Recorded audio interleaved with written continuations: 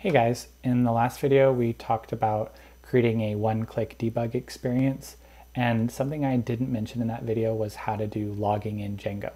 And I think that's a great addition, so that's what we're going to talk about today.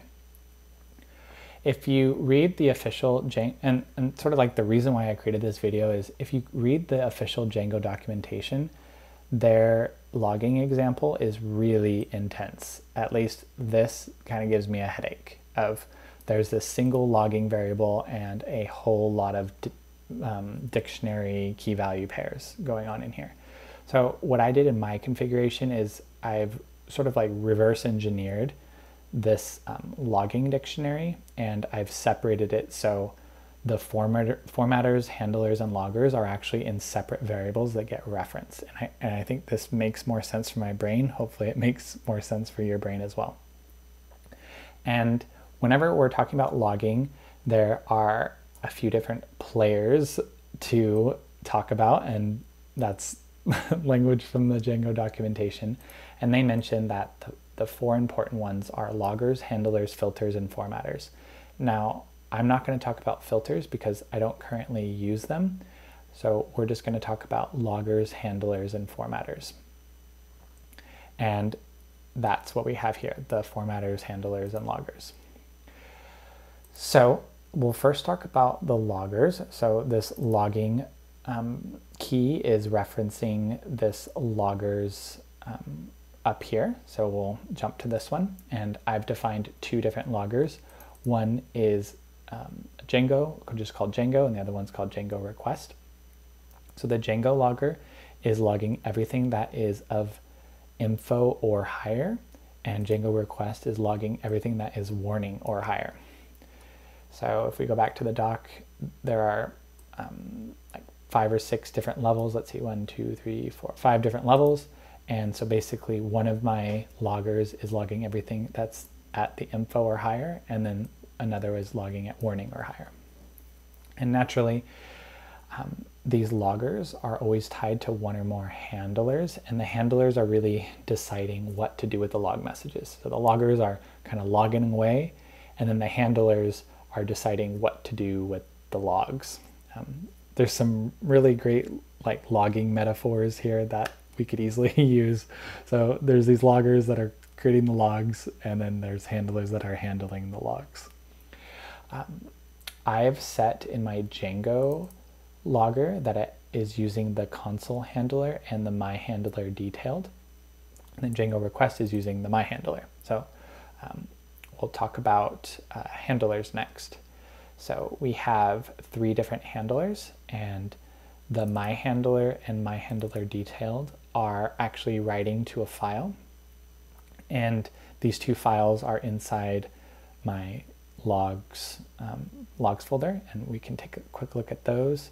We have the blogthedata.log which is logging, which is getting everything that is warning or higher and in my blog the data detailed log that's naturally getting more logs because it's doing everything that's info or higher. So um, yeah. And let's kind of walk through some of these um, key values.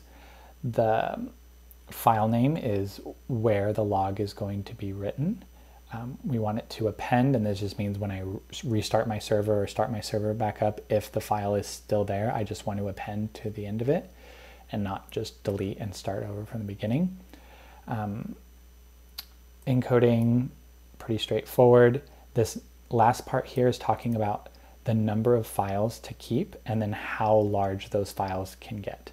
So if, if I had a really, really active application, as blog the data detailed.log got larger and larger, once it reached five megabytes, it would become blog the data detailed.log, and then a new file would get created called, I think it would be like blog the data detailed log one, log two, log three, log four.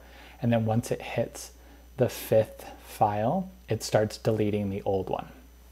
So by having this backup count and max bytes, we're saying keep a maximum of five files that are five megabytes and keep rotating those. So keep dropping off the oldest file um, and just kind of keep chugging through them. And five megabytes is huge for even a single log file. So this should have you backups for months and months, if not years.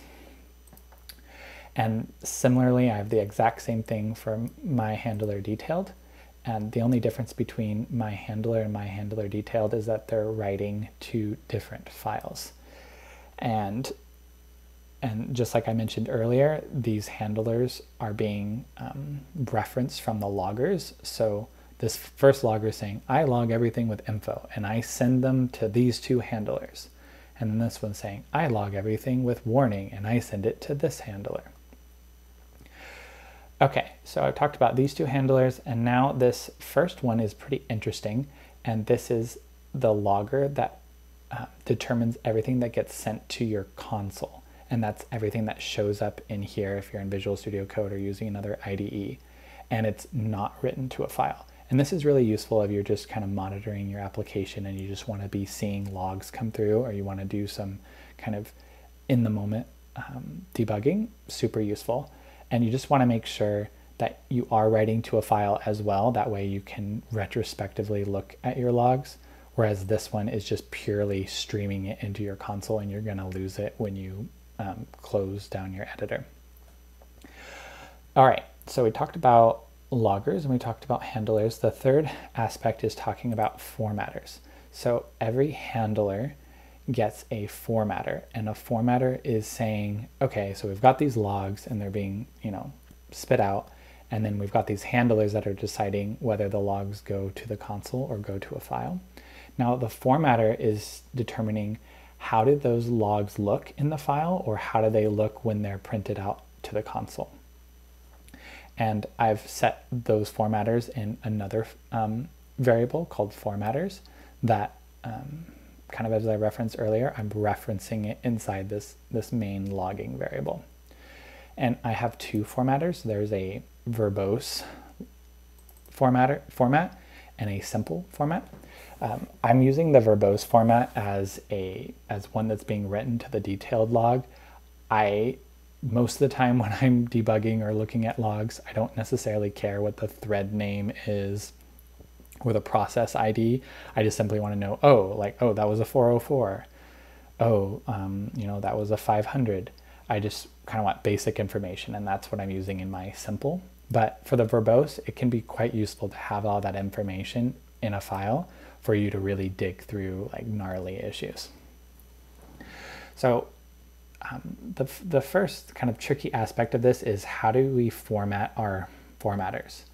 And if you go to the, the logging documentation for Python, I'm just in docs.python.org, they talk about all the different attributes that you can add to your log. And there's like line number, and that will talk about, you know, what line of code actually um, called the logger and you know what time was it logged at uh, file name just all kinds of information and that's what i've referenced here and the tricky part for me too was this format they're using here is um, kind of a different format or maybe even an older format that you can actually use this curly brace syntax and instead of doing like let's look at um, this time here, you know how they use this little percent sign and then they put this in parentheses with an S at the end. You can actually just put in the formatter label and then a colon and then the, um, the S like that. So you can follow this format instead of the format that you see in the documentation. And so for, um, maybe I should just kind of show you guys this working first. Um, that would be pretty useful. So let's do it. All right, let's press my magical play button. And as this is happening, a um, new browser window is being opened. And let's put it over here. Sometimes it gets confused on where it is. So let me just help it out a little bit. And here we are. So we have, um, I've just launched my website and we're getting logs coming through and let's kind of take a look at what's happening right now. So we're having all these logs being sent to the console and that is going to be our stream handler. That's, that's doing that. And this, if we look at our stream handler, we notice it's using the formatter simple. And formatter simple says the level name, which would be like info, warning, critical, the time that it's logged. Um, oh, whoops, I'm reading this one. So the level name, the time it's being logged, this is the module that the log is coming from. And then kind of the file name, um, line number, if appropriate, of where the log is coming from, um, the function name, and the message. And this is the message right here. And similarly, if we go to our log file, um, if we go into our detailed log, um, we'll see them right here and we're getting more. So we'll, let's see, we're on line 38. So let's go to like my life advice category. And then here we go. We got another line here inside the blog the data detailed log and it's saying, yep, he went to the life advice category and that was a 200. And we can also see that, yes, it's showing up here. Um, I visited the life advice category and I got a 200. But you'll notice that we're not going to see anything in, in the blog the data.log because it's only logging warnings. But if we go in here and, you know, I type in something um, random, like this is not a real URL and I, I get a 404, then yes, I'm now getting a 404 that that page could not be found. If I go into my detailed log, I will, um, I should also see it. Yep, here's the warning. So we're seeing that the detailed log is getting the warning. The, um, the blog the data.log is also getting the warning, but it's not getting any of the infos because that's how we set it up. And likewise, um, this detailed log is getting the really um, kind of intense um, log with the thread names and the process IDs, whereas in my console, I'm not getting that information, and that's all being set up by the formatters. So that's basically it. Once you set up these formatters, like one or more formats, and then you want to set up your handlers, which will determine either what's being sent to the console if you're using a console handler, or what's being written to a file, which will be your additional handlers.